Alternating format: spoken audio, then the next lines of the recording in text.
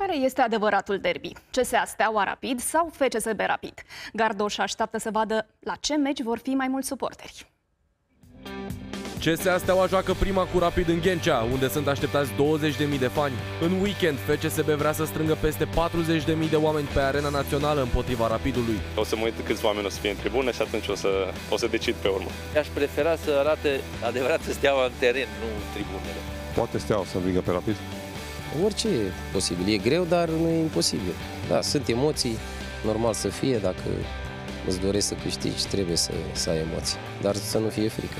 Gardo și Belodedici revin pe teren în Liga Legendelor și vor juca în scop caritabil. În vară, Gardoș a devenit tată pentru a doua oară. Băiatul cel mare nu prea e atras de fotbal, dar poate reușesc cu el, să vedem.